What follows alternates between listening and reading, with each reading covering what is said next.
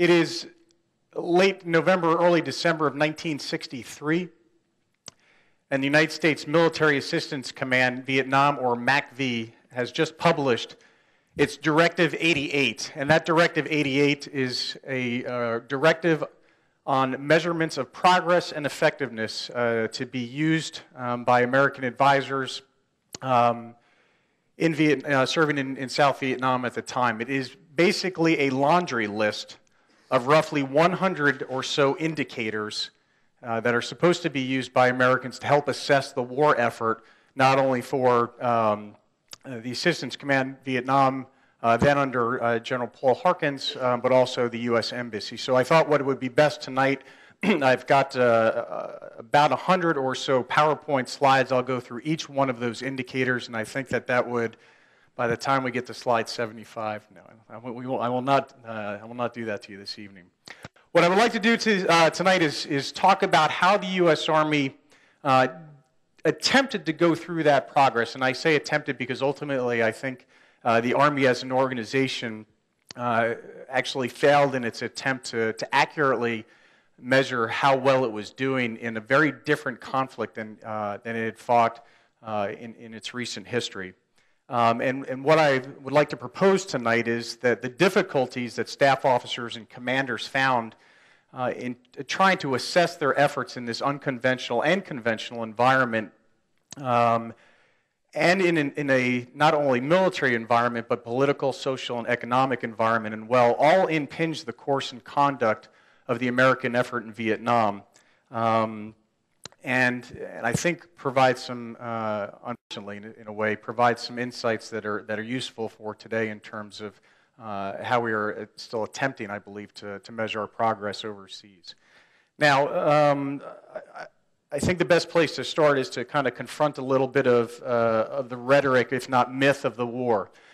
Most uh, conventional histories of the Vietnam War argue uh, that the U.S. Army maintained uh, ex- almost exclusively, a, or followed exclusively, a strategy of attrition. Uh, that the U.S. Army, especially focused under William Westmoreland, the commander of MACV from 1964 to mid 1968, uh, focused solely on killing the enemy, and therefore the sole measurement of progress for the war was the body count.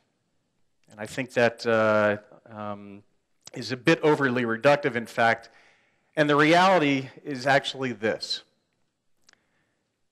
that in its attempts to measure its progress and effectiveness throughout the war, the U.S. Army, in fact, uh, did not rely solely on one metric, but actually became overwhelmed by numerous, um, hundreds and hundreds of metrics uh, as they tried to assess their efforts in, in multiple venues of the war, multiple programs that were um, were being implemented by the U.S. Army in Vietnam. And if you take a look at some of the measurement of progress reports that were um, being used at the time, they, they didn't focus solely on uh, the conventional conflict as most histories would have you believe. In fact, those monthly reports covered innumerable aspects of the war. Um, force ratios and incident rates were certainly part of it, weapons losses, but also security of base areas, um, roads, population control, area control, hamlet defenses. And what I want to do tonight is kind of discuss how the Army went about that and ultimately why I think it failed. So I think the main effort, or the main argument I'd like to make tonight is that the Army, in fact, failed in its efforts to, to effectively measure how well it was doing in Vietnam, I think really for two reasons. First off, I, I, think it's overstated that most Army officers during the war did not understand counterinsurgency. I, I think that um, is too simplistic. I think actually Army officers in the late 1950s and 1960s actually did appreciate the complexities of counterinsurgency warfare, and when they deployed to South Vietnam, uh, genuinely tried to implement programs that appreciated the complexity of the war effort. The problem is, in, in, all the, in all the doctrine and all of their experiences to date, there wasn't anything they could hang their hat on in terms of how armies in the past, whether it was Americans or French, um, measured progress in this type of environment. Secondly, um, because there was this lack of, of, uh, of knowledge um, and really experience about how to measure progress in this type of environment, uh, what compounded that was the, this broad and oftentimes uh, um, conflicting strategy in Vietnam. And again, what I'd like to argue tonight is that the Army did not operate solely um, under a concept of attriting the enemy forces. It was much broader than that. And in fact, that's where I'd like to start tonight is kind of work my way back into, or back my way into the metrics piece by talking about strategy first. Now, because, the, uh, because the, there's not a lot of experience in how the Army is measuring its progress and effectiveness because the strategy is so complex, I think what happens is that the Army will follow the advice of Secretary of Defense Robert McNamara, who argues in, in the early 1960s that anything that is measurable should, in fact, be measured. And what happens for the Army as they attempt to follow that advice is they become overwhelmed with data and so much time is spent on data collection that very little time is spent on data analysis. Now, the way I'd like to approach tonight is, uh, is after talking about the problems uh, of strategy and how this relates to um, the difficulties of measuring and assessing your, your operations in this type of war, is to really uh, look at this through three different lenses. We'll talk uh, first about the body counts because I do think that is an important aspect of it. We'll talk about how the Army tried to assess its pacification efforts, certainly an important part of, uh, of strategy in Vietnam. And then finally, uh, we'll take a look at how the American Army, especially in the latter years, attempted to measure the progress of its allies, the South Vietnamese armed forces, as, uh, as the United States forces were withdrawing. Now, as I mentioned, uh, I think it's important to first answer the question uh, in, in, order to answer the question of whether an institution is effective or not, we must first ask the further question of effective in the pursuit of what purpose. Now, according to the 1962 MACV mission, again, MACV is the Military Assistance Command Vietnam. According to the 1962 mission statement, um, MACV was uh, tasked to assist and support the government of Vietnam in its efforts to provide for internal security, to defeat the communist insurgency, and to resi- resist overt aggression.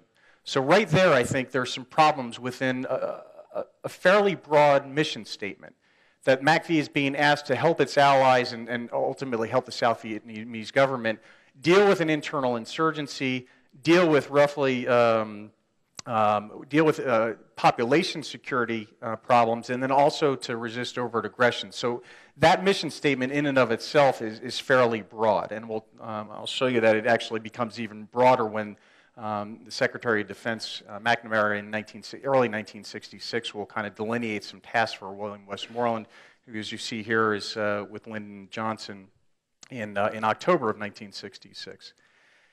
Now, this strategy becomes problematic in one sense because it is broad.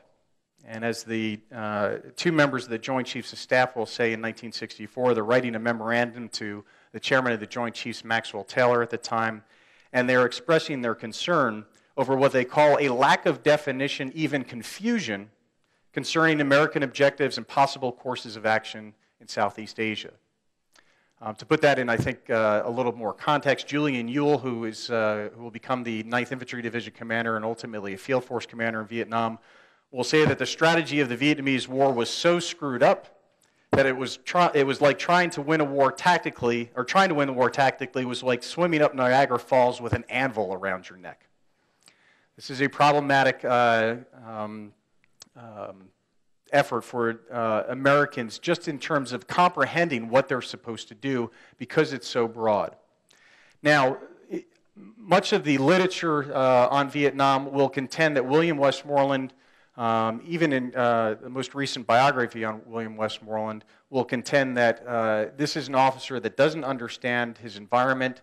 He is uh, constrained by an Army concept that is focused solely on its experiences in World War II and Korea, which makes uh, not only Westmoreland, but the entire Army conventionally focused. Um, and therefore, because Westmoreland does not understand his environment, does not understand the social and political context of the war in which he is fighting, he therefore focuses on what he believes his strengths are, and that is firepower and maneuver. And therefore, he uh, undertakes what many traditional and uh, conventional histories will call a strategy of attrition. I believe that is overly reductive, and I believe it's, uh, it's, it's too simplistic. I actually think that what Westmoreland is trying to, to express with this idea of a strategy of attrition is less about killing the enemy and focus on attriting enemy forces and more about expressing to not only his civilian leaders, but also to the American public that this is going to be a long war. That this war will not be solved in a matter of months, and in fact, may not be solved in a matter of years. And I think Westmoreland understands that very early on. If you look at his concept of operations uh, that he, he writes in June of 1965, he's talking about things that are very familiar to us in the Army today, uh, those that have kind of, uh, I guess, more recently grown up on uh, the counterinsurgency doctrine that was, uh, was revised in the 2004 to 2006 uh, timeframe. Uh, Westmoreland is talking about population security. He's talking about the, how the war will be won in the villages. He understands that the key problem here is linking the local population, especially the rural population, to the South Vietnamese government. He understands that there are limitations to what uh, American force can achieve when it comes to the, this broad strategy. And I, I, I, honestly believe he understands the, uh, the complexity of the war and doesn't focus, focus solely on attriting enemy forces. And unfortunately, I think um, in the last 20 to 30 years, if not uh, a little bit uh, longer than that, um, historians in particular have, have kind of centered on this word attrition and, uh, and then blamed Westmoreland for losing the war because he followed a narrow uh, strategy that was misinformed.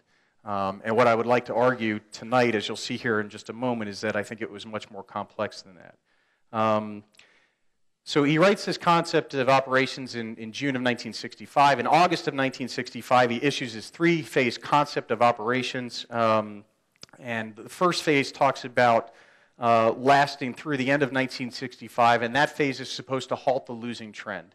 Uh, most estimates of uh, those in Saigon, Americans in particular, uh, as well as those in Washington, D.C., believe that if uh, the Johnson administration does not act in 1965, the South Vietnamese government will fall, the nation will fall. Um, and Westmoreland is tasked to go in, uh, and, and the decisions are made in, in the summer of 1965, obviously, to deploy combat troops. I would argue that uh, much of the discussion during that time frame is focused on uh, or concentrates on um, how many forces rather than what those forces are supposed to do. Um, but Westmoreland, I think, is, is working through this problem in, in, um, in South Vietnam. And the task here is to commit these forces to halt the losing trend. Um, now, the military tasks here include securing uh, military bases, building up an infrastructure, and strengthening uh, the South Vietnamese armed forces. Again, uh, one of the strains you have in, in, the literature on Vietnam is that Westmoreland, uh, unlike his successor, Creighton Abrams, totally ignores the South Vietnamese army, and I, I don't believe that's true at all. Um, and then ultimately, Westmoreland in phase two will, will make a transition to conducting offensive operations.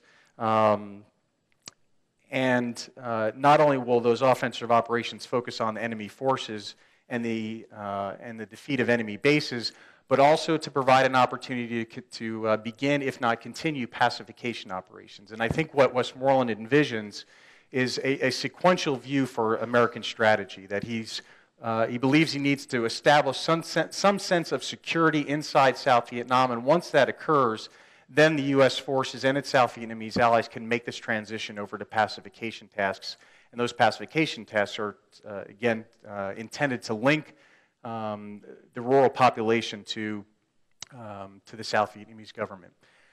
Now, as American forces are coming in in November 1965, uh, Mel Gibson takes his unit to the Ia Drang Valley. There's wonderful, tremendous uh, victory. It's, un, it's an unprecedented, unprecedented victory, according to William Westmoreland. But there is debate over what Americans are supposed to do next. And in February of 1966, um, Westmoreland meets with Secretary of Defense uh, McNamara, meets with Secretary of State Rusk. Uh, Johnson, President Johnson is meeting with President Thieu. And uh, what Westmoreland receives in uh, February 1966 is a list, a list of six tasks that he's supposed to accomplish to achieve his mission. Now, I'd like to, uh, to kind of go over these because I, I, think they're, they're actually important for understanding the problems of measuring progress in this type of environment. The first task that uh, Westmoreland receives is to increase the population living in secure areas by 10%. All right, what does that mean? How do you define secure in this type of environment? Your definition of secure is probably different than my definition of secure. What does 10% mean? It's not until roughly mid to late 1967 that MACV actually has an, uh, um, a fairly good estimate of how many South Vietnamese people are actually living in South Vietnam. They're still working through some issues on demographics. So, just the uh, idea that they are supposed to increase the people living in secure areas by 10% is problematic at best. Second, to increase critical roads and railroads for use by 20%. What is a critical road? What is a critical railway? How do you define whether those rail uh, lines or road uh, networks are actually secure? Or if they are secure during daytime, is that enough? Or do they need to be secure 24 hours uh, a day, seven days a week? That kind of gets left unstated. Uh, thirdly, to increase the destruction of VC, Viet Cong, or the National Liberation Front. The Viet Cong is a pejorative term uh, originated by uh, Ngo Dinh Diem, the president of South Vietnam. Um, uh, um, the terms are, are, really used interchangeably National Liberation Front, Viet Cong, or VC. Uh, and the PAVN, the uh, People's Army of North Vietnam. So you have insurgent forces, South Vietnamese insurgent forces, uh, and as well as uh, regular Army North Vietnamese forces. And Westmoreland is supposed to destroy their base areas by 30%. Where are the base areas? Outside of South Vietnam where are the United States forces not oftentimes allowed to operate outside of South Vietnam uh, proper. So there are issues in terms of achieving this based on the constraints that, uh, under which Westmoreland is operating. Number four, increase the pacified population by 235,000. Why 235,000? Why not 250,000 or 500,000? And again, what is population uh, um, what does a pacified population mean? If, if the goal of pacification is to link your rural population to your government, how do I assess that? I would argue that in uh, that we're, we are actually having a difficult time in our country assessing political um, parties and, and, and loyal political loyalty. Um, how are the Americans supposed to do that for the South Vietnamese? Number five, ensure the defense of political and population centers under government control. What does control mean? Again. Um, and finally, and this is where I think the word uh, attrition comes into play, attrit by year's end, VC PAVN forces at a rate as high as their capability to put men in the field, the so called crossover point. But I think this conference is incredibly important for understanding how the, uh, the difficulties of measuring progress in Vietnam, that it's not solely about killing the enemy, because that's not what West, uh, Westmoreland is being asked to do. He's supposed to uh, look at increasing the population that's pacified. He's supposed to secure areas. He's supposed to somehow control areas. Um, and, and all of that is he's supposed to um, accomplish while he's fighting the enemy and while he's uh, supposedly uh, also um, um, as part of his mission to be strengthening and training the South Vietnamese armed forces. So I think that uh, this February 1966 conference is incredibly important for understanding um, not only the strategy in South Vietnam, uh, but also the difficulties of assessing progress because it is so broad. And this is where I think the literature for the last 20 to 30 years has, has failed us in a sense because it, it is looked at strategy in Vietnam, I think, too narrowly. Now, this will not change under uh, Richard Nixon, who uh, is elected in 1969 and takes office. He'll, um, um, he'll come in with a five point strategy to end the war and win the peace. Nixon's uh, ultimate objective, obviously, is to achieve peace with honor um, or a decent interval or both, um, or maybe one without the other. Um, it's, uh, it depends, I think, on when you ask. Um, but again, take a look at the, the, the broad uh, brushstrokes of what Nixon's strategy um, is. And this is a review that's done um, actually as Nixon is getting ready to take office. Um, Kissinger, uh, Henry Kissinger's national security advisor um, will, will head a process that, to reevaluate the war, and Nixon will uh, formulate his five point strategy. Um, Again, it's focused on pacification, which is a meaningful continuing security for the Vietnamese people. Diplomatic isolation. So now we're moving uh, away from the battlefield proper and trying to assess how our battlefield um, accomplishments and the effectiveness of our battlefield, uh, our military operations, is having an influence on diplomatic negotiations. Increasing the weight of uh, uh negotiations in Paris, gradual withdrawal of U.S. forces from Vietnam, Vietnamization. Are there problems here with measuring Vietnamization and mer- measuring how well your allies are able to take over for you while you're trying to withdraw, withdraw from a conflict? Luckily, we don't have to deal with those problems today. Um, and then finally, uh, Vietnamization itself, which was aimed at training and equipment, equipping the South Vietnamese armed forces so they could defend uh, the country on their own. Again, I think a difficult proposition for Americans um, uh, under Abrams at this time period.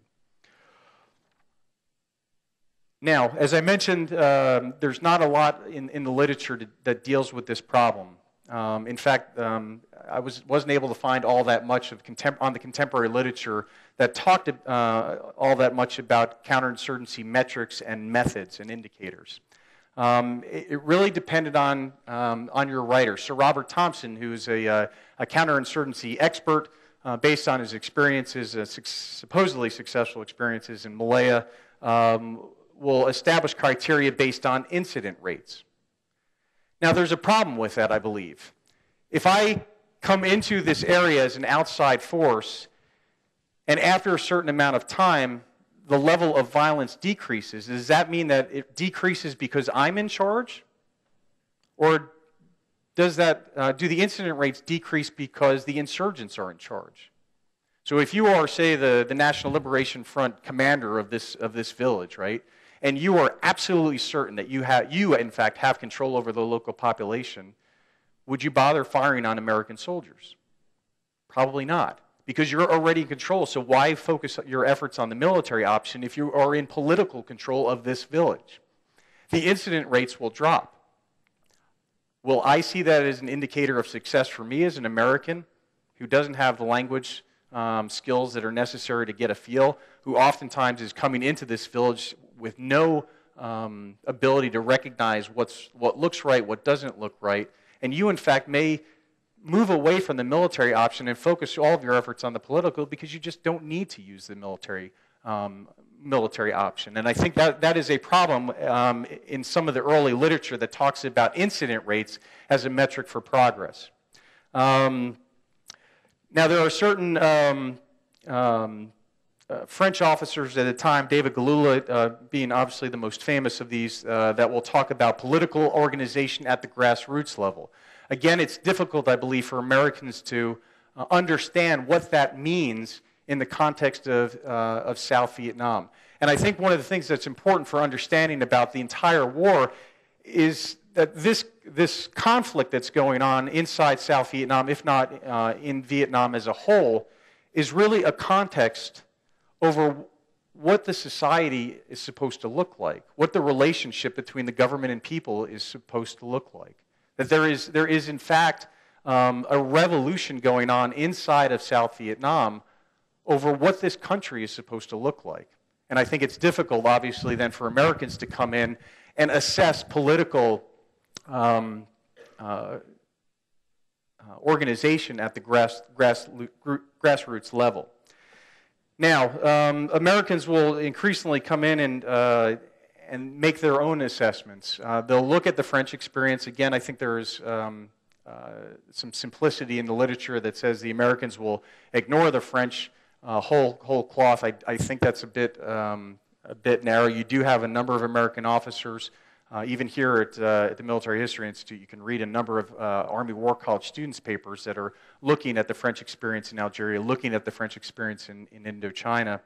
Um, uh, Bernard Fall being the, uh, one of the, uh, the most famous of the um, Southeast uh, Asia experts, talks about measuring administrative control as opposed to military control. What is administrative control? The ability of the National Liberation Front to tax its people or tax the, the, the local uh, villagers. Again, I think this is a bit because the Americans oftentimes won't have the ability to, to see deep inside uh, hamlets and villages to understand um, what type of influence the National Liberation Front has over that uh, village. And then, as I mentioned, as Americans will uh, increasingly come into uh, Vietnam, they'll start to, to develop their own metrics. Uh, one major, Robert Osborne, um, who's working in one of the northern provinces in the First Corps Tactical Zone, uh, notes that if you go into a battle area and a villager comes along and warns you about mines along the road, to me, this is an indicator of success. Or if a villager does not warn the military, that's an indicator of failure. Or as one advisor late in the war maintained, the really meaningful success indicators are the smiles I see on the people's faces. I would argue that's a somewhat fickle indicator, the smile on the people's faces. Um, now, what makes this problematic uh, even further is just the lay of the land itself. Um, and just as a, a, quick matter of context, uh, Indochina is divided in 1954 after the Geneva Conference along the 17th parallel after the fall of Dien Bien Phu. Uh, in the north, communist supporters under, uh, will consolidate power under Ho Chi Minh. In the south, uh, uh Ngo Dinh Diem wins over internal political, uh, an internal political power struggle, but certainly his base is not as, as uh, solid as, as Ho Chi Minh's is in the north. As I mentioned, MACV is created in February of 1962. Uh, the first commander is a gentleman by the name of Paul Harkins, uh, who was Patton's uh, uh, chief of staff of, in the Third Army during World War II. He's very much a, a product of his conventional experiences. Um, he is also a perpetual optimist. And again, I think one of the things, the themes that you see in the American experience in Vietnam is that commanders oftentimes, uh, oftentimes at all levels, will place a lot of pressure on soldiers and officers at lower levels to report progress. Um, and, and Harkins will actually say that to his staff. Um, I am an optimist and I don't want to see bad news. That seems to problematize uh, the accuracy of your reports. Um, and then, as, uh, as I mentioned, the strategy is difficult, I think, for many American officers to conceive. Harkins himself will say uh, that it was something new to all of us. It was an entirely different type of military operation than we'd ever been on. There wasn't any front line. It was no place. It was every place. It was in your kitchen. It was in your backyard. In fact, it was in Harkins's backyard. His gardener, they found out, uh, his uh, staff found out, was a member of the National Liberation Front. Um, so it quite literally was in Harkins's backyard. Um, now, as, as Harkins uh, will give up command to William Westmoreland in 1964, I mentioned this, uh, this laundry list that is established in 1963, uh, Directive 88, that, uh, that is a list of items to be counted and tabulated. But nowhere in that directive are any of those metrics linked to strategic or operational objectives. And I think this is problematic for the Army in Vietnam. That it has all these metrics, it has all these data points that they're collecting, and ultimately they're not really linked to any strategic objectives. And I, I think that is a, um, in one sense, a bit of a failure from, from the staff and commanders in Vietnam. Now, of course, numbers will whet an appetite for more numbers. Um, if you've ever served on an Army staff today, Excel spreadsheets whet an appetite for more Excel spreadsheets, or PowerPoint slides whet an appetite for more PowerPoint slides. Um, and in fact, uh, there is concern that uh, they were, uh, these, um, these, these uh, numbers will, will overwhelm early on. Chester Cooper, who's a member of the National Security Staff, will say that numbers flowed into Saigon and from there into Washington like the Mekong River during the flood season. By 1964, this is even before the commitment of U.S. ground troops, there are roughly 500, 500 separate United States and South Vietnamese uh, reports, data collection, even before the introduction of ground forces, American ground forces, is becoming an end unto itself. All right, so what I'd like to do now is make a transition into those three areas that I, I, I discussed uh, that I'd like to kind of give you some, some insights into problems in, in, in specific areas. First off is, uh, is the, the actual military um, operation piece here. Uh, and here we do see um, uh, Hal Moore in the aftermath of uh, this unprecedented victory in November 1965. Um, there is quite a bit of pressure to achieve high body counts. I think that is uh, that's certainly an important point to realize here. But not that, that pressure for reporting success isn't just limited to uh, the military operation piece of it. Um, and I think that pressure occurs on a number of levels. Certainly, the U.S. Army as a whole will, will receive pressure from the Johnson administration and from McNamara in particular. There is political pressure to show progress in a war. These progress reports, at times, will become politicized. Just the word progress itself connotes that you are, in fact, making progress. And I think that is somewhat problematic. Um, so there is institutional pressure. Um, but part of that is this belief that there is just no other way to get at understanding how well the U.S. Army is doing in Vietnam. This isn't an experience like World War II where you land on the, the Normandy beaches on 6 June 1944 and you are here. And then by July of 1944, after the St. Lo breakout and Operation Cobra, you are here. And then you reach Paris and you're here. And then you reach the, um, the Franco German border and you are here. And it's obvious to everyone. It's obvious to, to your forces, the enemy forces. It's obvious to, um, to the, uh, the populations at large. Without any front lines in Vietnam, it becomes very difficult for politicians and military commanders to demonstrate that they are, in fact, making progress. And I think Americans general like to equate effort with progress, and I think that happened in Vietnam. There's an incredible amount of effort be eh, being expended here. There is an expectation that that effort should be equaling progress. And in fact, McNamara will later note that we undertook the body count because it was one of Westie's objectives. Again, the attrition piece which was to reach the so called crossover point. To reach such a point, we needed to have some idea that, um, that they could sustain uh, and what their losses were. So you, there's a sense of frustration here. That frustration, I think, is also linked to soldiers in the field. Americans are fighting certainly an elusive enemy in, 19, uh, in the 1960s uh, throughout South Vietnam. And again, this pressure on soldiers becomes immense. As one division commander will say, as a rule, when an outfit has a fight and does not get a high body count, it is not pushing the way it should. What message does that send to a young soldier? If you don't have a high body count, you're not pushing as hard as you should. What does that say to a young captain that's leading his company into battle? Um, but there's also something I think that's uh, um, a bit surreal about this as well that, that speaks to an individual basis. Um, not only are units um, struggling with, with, with measuring progress and, and, and linking their efforts to something tangible, but body counts fulfill some individual need for soldiers. As one said, there's nothing like a confirmed kill. They make you crazy. You want more. You know, everybody back at battalion will look at you with envy when you get back in. You scored a touchdown in front of the hometown fans.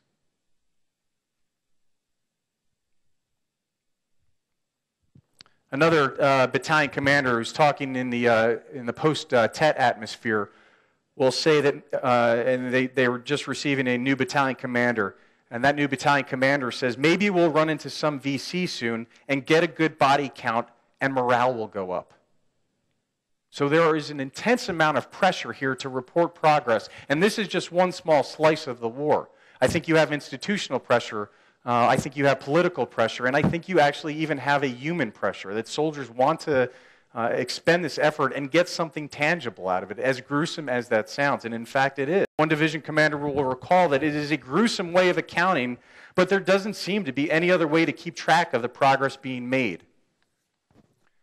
So I think this uh, is an important piece to, um, to understand uh, how the Americans are working through this, um, because pressure is important. And I'll give you one final example on this, um, because I, I, think it speaks to um, uh, the larger problems of what happens to the numbers themselves. Uh, it is. Uh, um, it is late 1965 uh, and it, during the uh, nine day siege of uh, which is a special forces camp, and the siege finally gets lifted um, by an outside American force. Um, and the special forces uh, commander of this camp, um, Major Charles Beckwith, um, is, is, trying to clean up the battlefield to get a sense of what's going on. And um, immediately he's called by the, uh, the MACV chief of staff um, to ask for a body count. He hasn't even been outside of the wire yet. And he's telling his, he's barking at his radio commander to tell him to get off my back. I haven't even been outside the wire. I'll, as soon as I get a count, I will send it up. Um, and, and Beckwith, to his credit, says, Look, I am not going to give a count until I, I'm, I, am I'm fairly confident that I get, can give an accurate one. By the time this officer sends up, uh, reports 40 enemy casualties, the figure at the, uh, at the, that's announced in the Saigon press conference that day is five times that high. There is a problem here in terms of um, what the numbers, um, what, how the numbers are being used and misused, I think. Now, as I mentioned, um, the military operations are, are, a piece of this. And certainly, I think Americans in general will look at this problem of counterinsurgency from a sequential view. I would argue we still look at it from a relatively sequential view, that we, we believe that population security, territorial security, security in general, must be achieved first, and after which we can, we can work on the pacification piece of it. But I think this cartoon speaks to the tensions between the destruction efforts that are going on in South Vietnam and the construction efforts. And the pacification piece of this is supposed to be the construction effort. But those two efforts, the military effort focused on destruction, the pacification effort focused on construction, oftentimes work at odds with one another. That will become problematic for those that are trying to assess uh, effectiveness as a whole for what's going on in the war. Now, in early 1964, uh, MACV will, will, will, work through a, a, a rough um, measurement system to evaluate security inside villages and hamlets. And what they do is um, it's a, really a color coded process. If, a, um, if an area is blue, that means it's under, uh, uh, it's under friendly control. If it's white, it's contested. And if it's, under, if it's red, it, it means it's under enemy control. Again, the problem is, is that the data itself seems to be corrupt oftentimes. As one advisor was talking to, um, to his counter, South Vietnamese counterpoint says, hey, we've got this blue area here. I want to go out and see it. And the Vietnamese immediately comes back and says, you can't go there. You'll get shot at. And yet that's what's being reported, that this is a blue area. Um, so there is a problem here, I think, in terms of garbage in and garbage out. Um, and the reliability of the data seems to be suspect. In fact, Westmoreland will talk about that um, not only in his memoirs, but at commanders' conferences during the war. Uh, that he's, he understands that the data that he's receiving as a commander um, seems to be unreliable. Now, ultimately, this, uh, this crude um, uh, color coded process will, will lead to the Hamlet evaluation system, which is established in early 1967. And um, and what it's supposed to do is, is measure a number of different things. Here is an, an excerpt uh, from the Hamlet Evaluation System worksheet. It is a, uh, a matrix of roughly 18 indicators in which to assess a Hamlet's security and development. And those are important uh, points to consider security and development. So, for a young advisor, a young American advisor who, oh, by the way, likely does not speak um, Vietnamese, he has to um, factor in and assess um, Viet Cong military activities, the political and subversive activities, and friendly security capabilities. Again, all of these seem to be problematic. And then economic uh, development factors by assessing administrative, political activities, health, education, welfare. How does a young American 20, 22 year old assess the health programs of a South Vietnamese village? Does a young American from New York City assess South Vietnamese health programs and education programs differently than a young American from, say, Idaho or Indiana? Do Americans assess this using, using this Hamlet evaluation system, evaluate um, their villages and hamlets differently than other free world military forces like the Republic of Korea forces? Do Koreans look at the South Vietnamese differently than the Americans do? Obviously, I think they do. Um, and as I mentioned before, the problem is you see is despite all the numbers that are being used in this system, and they are, they're quite extensive, a lot of this is subjective. Um, the party apparatus, the political apparatus of the enemy appears to be eliminated. Well, what does that mean? Does it mean that I can walk through this village securely during daytime, but I I will not go out at night. And in fact, one uh, journalist will, will say that. A very uh, perceptive correspondent will ask, How secure is secure when U.S. officials brag that they can go anywhere in their province by day, but were reluctant to go anywhere in the cap- outside the capital at, after dark? This one report alone, the Hamlet Evaluation System, which is supposed to assess uh, more than 2,000 villages and 13,000 hamlets, one report alone generates a monthly average of 90,000 pages of reports. How would you like to be the staff officer that has to read 90,000 pages every month? And oh, by the way, on the ground, this becomes problematic because oftentimes the advisors that are filling these forms out have to, have to assess roughly um, 30 or so, 35 or so on average, um, hamlets and villages per month. Which means on the day one I go here, and day two I go here, and day three I go here. Well, how do I actually get an accurate assessment if I'm in and I'm out and I'm moving on to my next, um, uh, my next hamlet or village?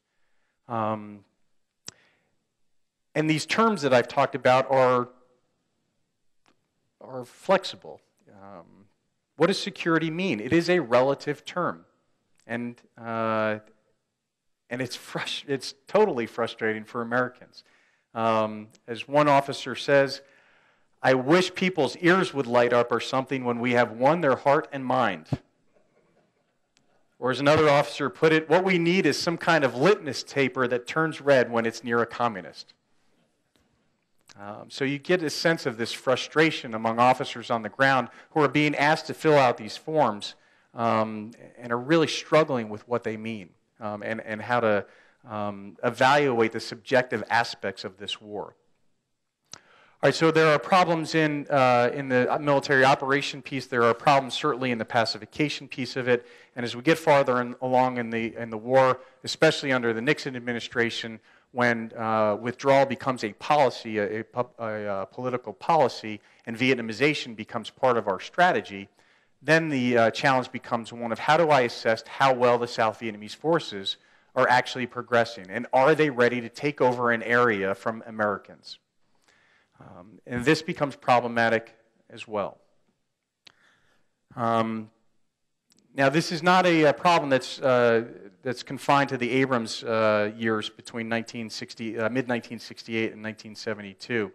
Um, early on, the Americans are having difficulties in, in assessing how well uh, ARVN, the, uh, uh, the South Vietnamese Army, is doing. A 1963 study, in fact, finds um, that ARVN as a whole, that um, in July of 1963, had conducted a total of 4,475 small unit operations. So, for one month, the fact that a South Vietnamese army is able to conduct over 4,000 small unit operations sounds impressive. But when you start digging through the numbers a little bit, you'll find, you found, or I found, um, that the report concluded that of those 4,475 operations, 175 actually made contact with the enemy. So, this is an enemy that has the initiative, not only politically, I would argue, but also militarily. Um, there's also obviously um, um, an element of, of racial and cultural bias that is at play here. Americans oftentimes look down on their South Vietnamese allies. One brigadier general in the 1st Infantry uh, um, described it as such that this business of getting mixed up with the Vietnamese, and he's talking about his allies here, was something that could get in the way of performing in a spectacular fashion. Many were absolutely, and he's talking now about other officers, were uh, completely insensitive um, to the local population, to the Vietnamese soldiers, and to the regional and popular forces. They were seen as just an obstruction. Well, how do you measure the effectiveness of your allies if they are seen as nothing more than an obstruction? Um, and again, I think this uh, goes down to the, uh, to the soldier level as well, and, and is oftentimes uh, lamented by commanders uh, in the press. U.S. News and World Report will, will run a story under the byline, Their Lions, Our Rabbits, talking about the Vietnamese, the uh, National Liberation Front being the lions, the ARVN forces being the rabbits. And certainly these, uh, the Vietnamese peasants, I don't think, fared any better in the, in the eyes of Americans. One soldier wrote home in July of 1969, I still can't believe how these people live. They're just like animals. They live out in the middle of nowhere. How does that young soldier writing home to his family uh, accurately, objectively assess how well this army is progressing? Um, now, uh, as with uh, most other programs, we, uh, the United States forces in Vietnam will, will lean towards um, uh, um, quantifiable metrics. Um, an argument is made that uh, under Abrams, the body count kind of goes out the window as a metric. In fact, uh, uh, MACV staff will use the body count as a, as a significant indicator for, um, uh, for how well the uh, ARVN forces are operating. So some of the similar tangible aspects of the Army uh, operations in terms of weapons captured, body counts achieved are still there. And um, uh, the evaluation reports for um, these South Vietnamese forces are equally um, um, overwhelming. The, um, the SEER, which is a system for evaluating the effectiveness of the Republic of Vietnamese Armed Forces, just the, just the title itself is overwhelming, um, is supposed to measure, or was supposed to measure, three broad areas of military performance, personal and logistic uh, uh, statuses, and historical trends. And yet, yet again, it's problematic in terms of what officers are being asked to measure. This 157 question survey, which was supposed to be filled out on a monthly basis, uh, was called by one officer one advisor a multiple guess type of report.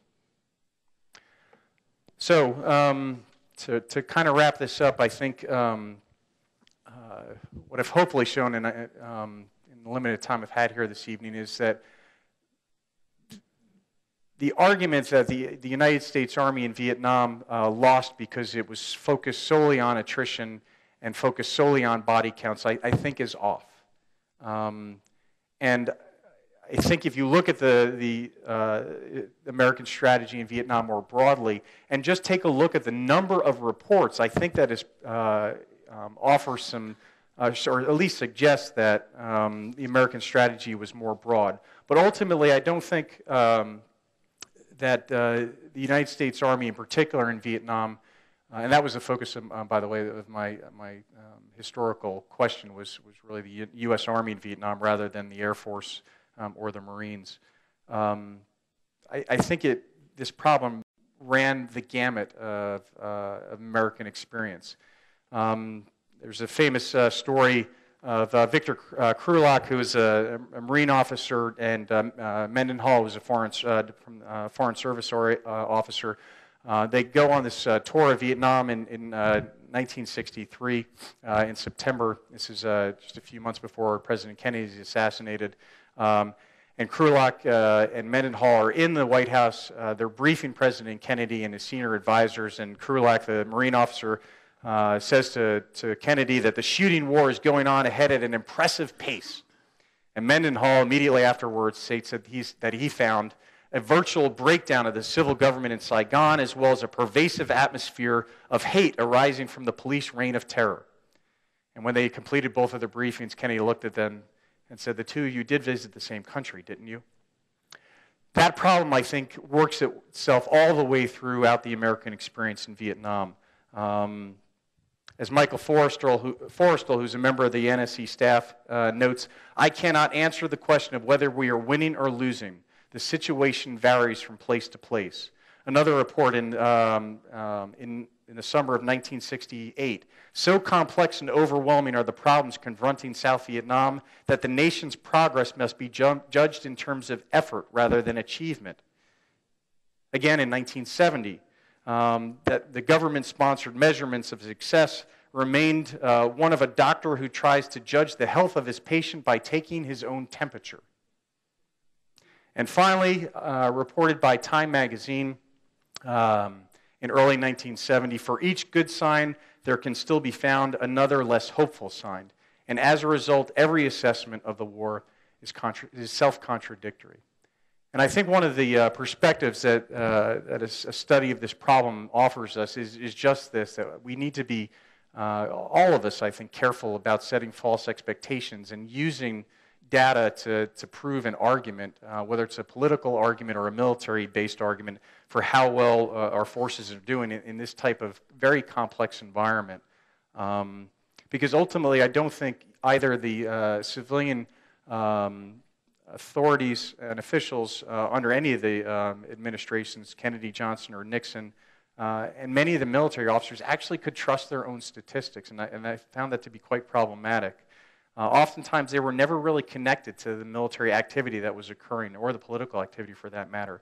They were never really integrated into one another.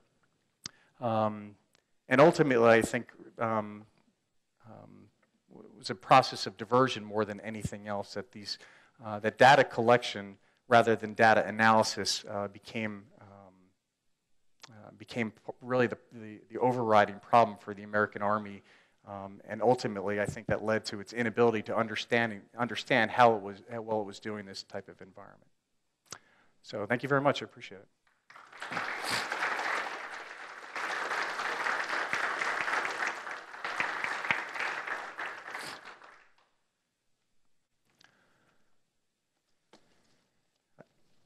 So I can't just leave? Is that what you're saying? Raise your hand and we'll get a microphone to you, and we'll start with you, sir.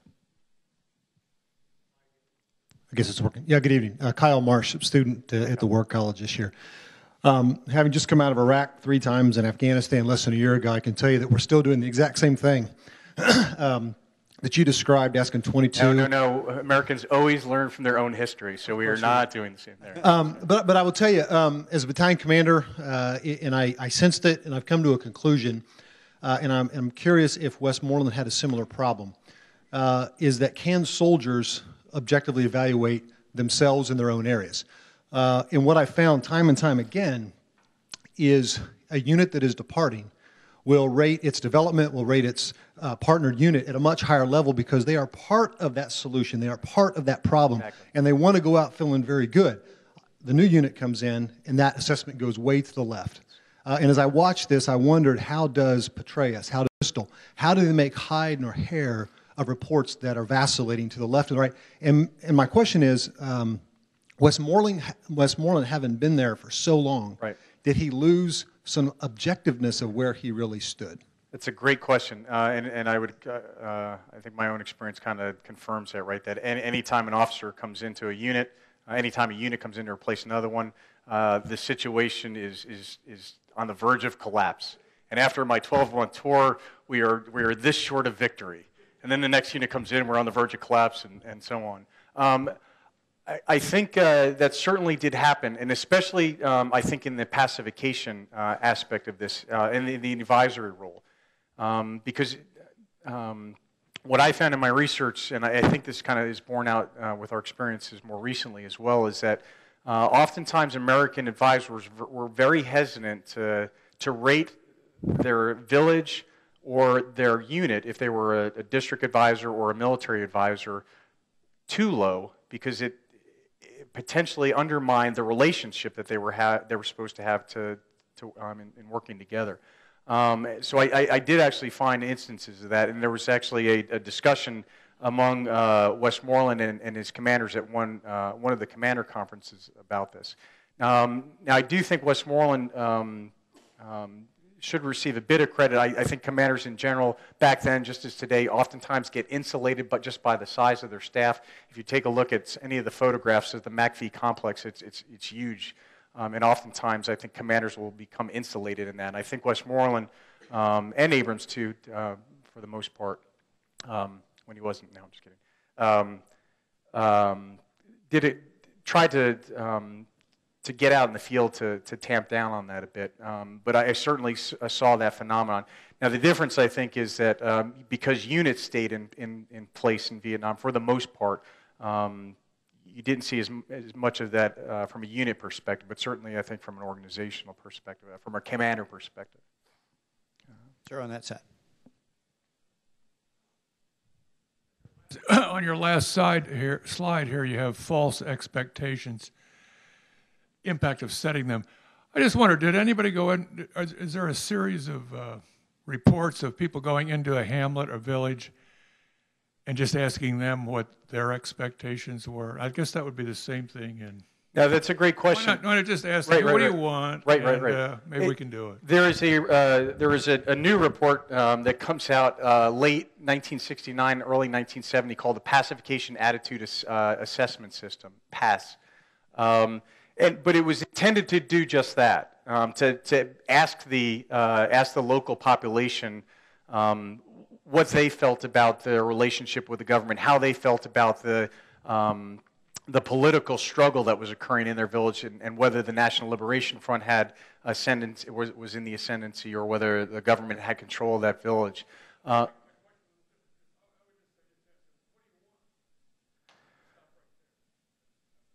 I think it changes over the war. I think um, um, I, I think by the time you get to, to I think arguably as early as 67, 68, I think many uh, in the rural population simply want the war to be over with.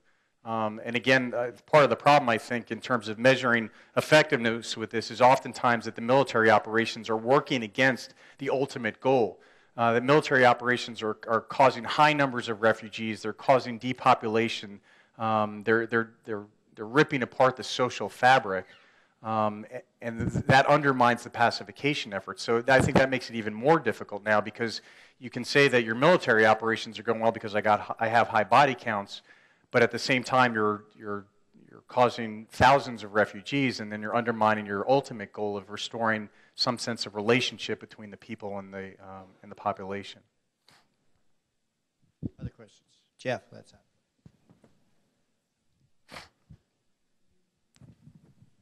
You mentioned a couple can borrow this, you times. can borrow this uh, if you want to. how do you define security? Right. Uh, and it reminded me of the stuff I've read, which suggests that people living in what we consider the third world have a very different view of security.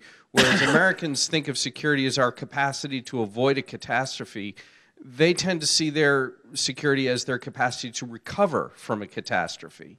And I'm wondering, sort of building on his question, is was there awareness that maybe we're, we're counterproductive because we go into a village and we drive away the cadre and we think we've secured the village, but in the process we destroyed the cache of rice, which to people in a subsistence economy is unimaginable. Uh, was there any talk or awareness of this sort of problem? I think there was talk of it. Um, I, I, I think the implementation that um, was, was too problematic and, um, and I, I don't think was actually resolved by either Westmoreland or Abrams. I mean, Abrams, uh, at least according to, to some of the um, uh, more recent works that are out there, that Westmoreland under, I mean, Abrams understands the war better than Abr- Abrams understands the war better than and Westmoreland does. He has this one war concept. He sees uh, the war as a system because the enemy sees the war as a system, and um, it's, it's similar to I think how what we would talk about today in terms of lines of lines of operation. That uh, Abrams sees this as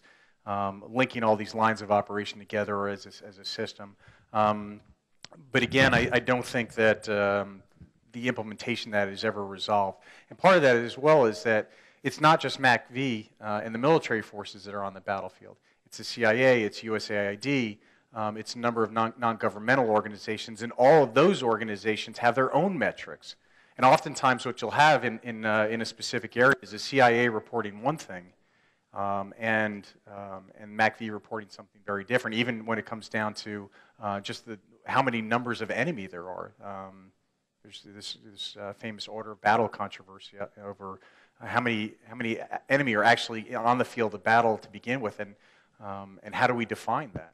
Um, so I, I don't think that actually ever gets resolved, um, but I think it's an important point to, to kind of consider when looking at this problem. Yes, sir. My question has to do with uh, Directive 88, the one you spoke of with the six measurement yes. goals. Uh, Was that particular uh, document passed through the Joint Chiefs? Did they act on it?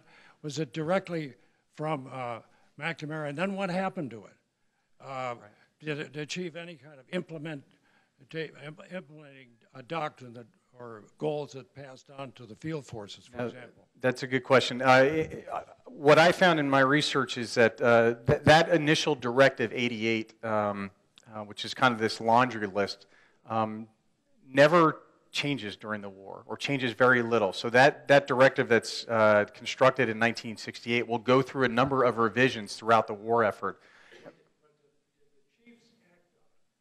I can't imagine Harold K. Johnson Reading that let any of that go, language go through. Right, right, right. Um, I, I, don't think so, and I think um, um, um, again, all this data collection doesn't re- is, is almost for naught. That uh, often very little of it is actually used to make assessments. Um, very little of it is is um, used to develop trends and, and do some type of trend analysis. Um, but I, I think it is important to note that, that this, this laundry list of, of metrics doesn't really change all that much. And that's important, I think, when you get to the Abrams era, when the, when the mission of, of, of the Military Assistance Command Vietnam changes under Vietnamization. And you have a, a mission change, and yet the metrics that are being used haven't been updated to, to coincide with that change of mission. Sir, first, second. and- Yes, could you uh, address the British experience in Malaya? Um, from, from the measurement piece of it, Yes, the uh, metrics piece and how they, uh, uh, uh, impression of that campaign is they viewed themselves as being successful. they did, without a doubt. And um, how how'd they make that judgment? Um, Sir Robert Thompson, uh, who's the, uh, um, the head of the British uh, advisory mission in Vietnam, um, says it's successful. and I don't mean to be flip here. I, I think one of the problems, uh, especially with using Malaya as, a, as, a, uh, as an example, and, and certainly uh, Westmoreland, before he takes command of, of MACV as, as deputy commander, will actually go to, go to Malaya with Thompson and finds that it, it, the experience just isn't relevant to what's going on in Vietnam. And I think that's an accurate uh, assessment. Um, that the Malayan Chinese uh, Communist Party is a diff- different ethnic group than uh, the local Malayans. Uh, the British um, um, ultimately will offer, offer Malayan independence, which, which kind of pulls the rug out from the MCP. There are problems um, with the implementation of Chin Peng strategy that oftentimes gets dismissed. Um, um, in, say, a, a, work like John Nagl's Learning to Eat Soup with a Knife, that all of that kind of gets taken out of the picture. Um, but at the time, Thompson is, is uh, I mean, actually has access to the White House. He's, he's that influential. Um, he's talking to both the Johnson administration and the Nixon administration and coming back and, and offering his own assessments on how well the war is going.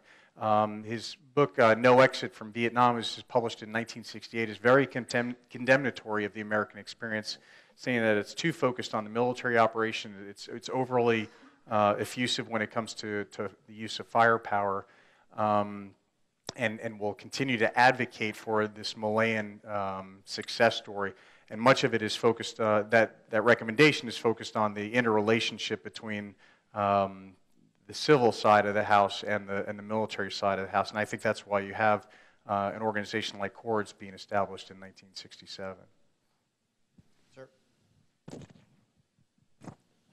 Thank you. Um, in your research, do you know where this trend for the bureaucratization or politicization of uh, data uh, originates? Are you, is your contention it originates with McNamara, or is this something that developed in the interwar years after the you know after action reports to now all this other? Uh, I, I, actually think it, it, it um, it's established earlier. We, um, if you recall, McNamara um, before he's uh, um, the head of the Ford Motor Company is a uh, is a staff officer in LeMay's Air Force and, and, and works in kind of the, this budding uh, arena of systems analysis and, and is kind of tracking um, bombing effectiveness under LeMay.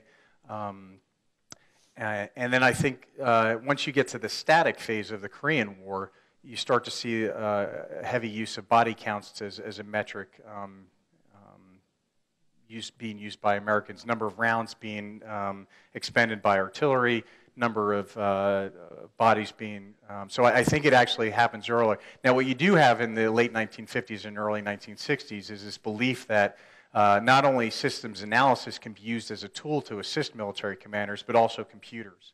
Um, and what I found in my research was there's kind of a generational divide.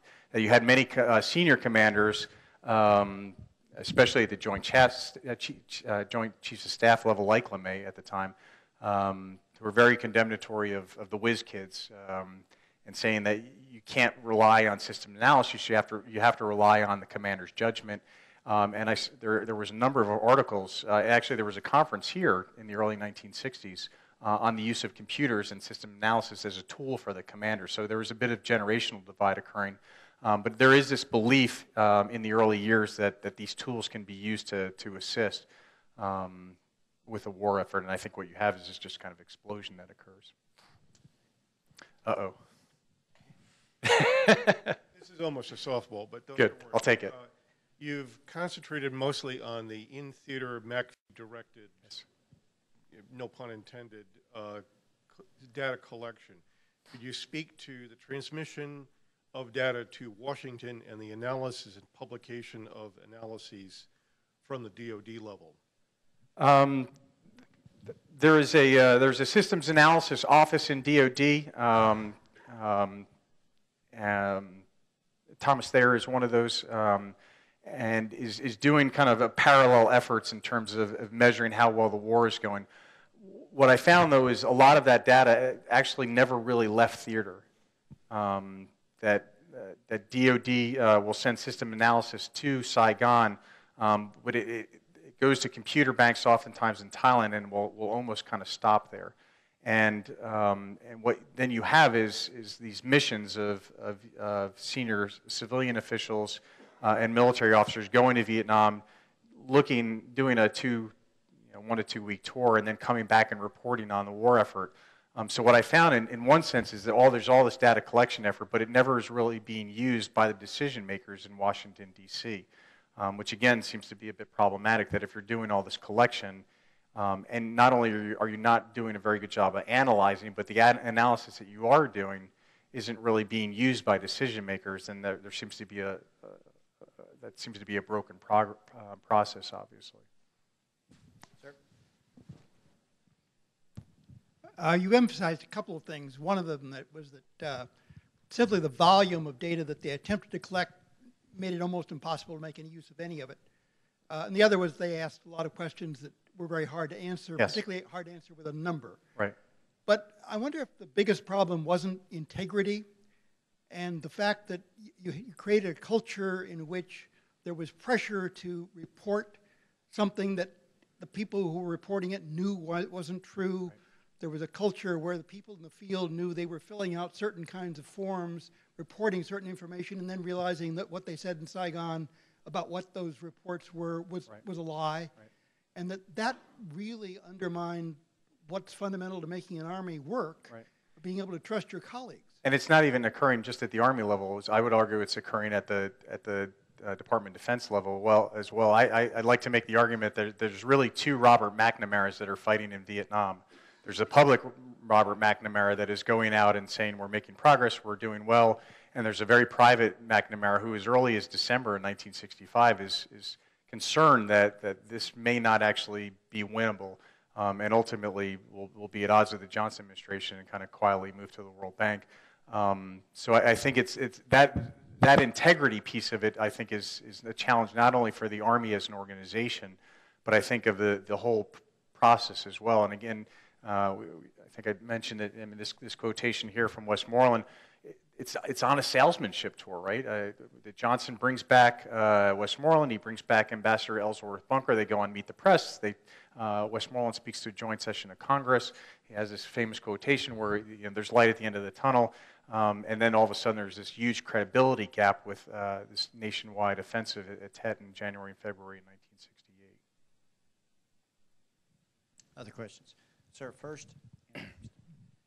I, I just wanted to make a comment, since I was one of those analysts, that I, at the time, this was a pre-chaos theory world. Yeah. And that linear physics and what was the, was the day Isaac Newton ruled. And we knew that if we had enough data, we could build a model that would allow us to figure out exactly when the war was over. I- mean, that's, that was really the issue. And we didn't appreciate complexity and chaos and how difficult it is for linear systems to actually work in the real world. So there was a need to get that data to build the models that were needed to predict when the war was over and when we were, and when we were going to win. So it's a, it's a little presentist to be able to think that we should have understood that that much data was going to overwhelm us. That much data we needed to build the models.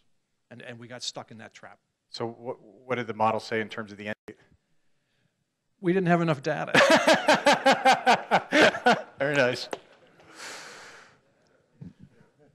as, as somebody who filled out those Hamlet evaluation reports, uh, at the district level, there was only one question that you have to answer correctly to figure out security.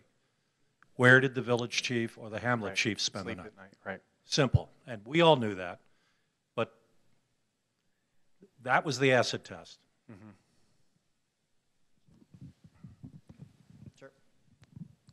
How about our allies? How about the Australians and the Thais and the Koreans? Uh, were they collecting data like mad, like we were, or and what were they doing with their data? Uh, it's a great question. I don't know. Um, I, uh, I, I didn't have access to those files. Um, I, the only reports I, I read um, uh, were some, some accounts of, of Koreans when it came to pacification and how they assessed, as I mentioned earlier, the, you know, they, they had different um, benchmarks, if you will, when it came to assessing the health um, or uh, medical services, uh, cleanliness, that kind of thing, from with the economic development. But I, I never, uh, I never got into the uh, the free world military forces um, just because it was outside my view. I, that, that actually would be a pretty interesting question to see if, if we're if our allies are kind of following along with us in terms of uh, at least the the process and, and the way they're approaching the problem. Got time for one more? Uh oh. Chuck Allen here. I'm a uh, operations researcher and some other uh, leadership instructor at the War College. My question comes up now is, so you're looking at history of finding out what happened in terms of developing these metrics and how they weren't useful. What did you discern as a, an appropriate way or process for having methods and metrics that are effective for Right. leaders? It depends. um, and actually, I, I, I, I, I don't mean to be too flippant. I actually believe that to be the case. Um, and uh, the more I've kind of thought about this, and I, I purposely kind of left that out of the end of the story because I didn't want to, to make an assessment that, well, they should have been measuring this and they should have been measuring that. Um, but I think um, the best way to do this, I think, based on my own research, is that you have to look at you have to look at the problem and you have to assess the problem locally. Now that becomes problematic when when a general gets asked a question. Well, general, how's the war going? And you can't say, well, it's going fairly well here in the Mekong Delta, but not so well in the Central Highlands, and it's going well here militarily, but not politically. And if you compare that to, there, there's just not enough. Um, that, that, that, that assessment piece of it, I think, becomes problematic. In an environment um, like a, mo- a mosaic environment like Vietnam, I would argue like Afghanistan s- as today as well, um, that, that broad brush assessments just simply don't work. The problem is that I think in our, in our news culture, especially today, and I think you kind of saw that as well in Vietnam, that journalists had a very difficult time answering that question of how is the war going in the confines of a newspaper article or a, or a, a TV segment. Um, there's a wonderful uh, book out on um, um, on war in the Congo that came out last year or the year before, and I was listening to the author on NPR. He's a correspondent; He's been in the Congo for years, and he said one of the challenges that these uh, journalists have in the Congo is is just explaining. Uh, what's going on and being able to do so in, in the confines of a, of, of, of a news dispatch that uh, just explaining the government and, and the insurgency and how the interrelation and the interrelationships of those uh, two forces, um, just explaining the, the context is so difficult that that's why the Congo is oftentimes off our radar because you, they just can't explain it in a way that is intelligible in, in a newspaper report or, or a dispatch. And I, I think r- roughly the same thing happened in Vietnam. So the challenge, I think, is, is measuring the mosaic and measuring the, the, the locality or the progress that are, that are made in the localities without, um, um, without doing too much of a broad brush and, and just oversimplify. And oftentimes when you oversimplify, I think um, you do kind of set these false expectations because of these pressures. Say, well, it's not going here and here all that well, but, but we are making progress. Um, and I, I think that's a bit difficult.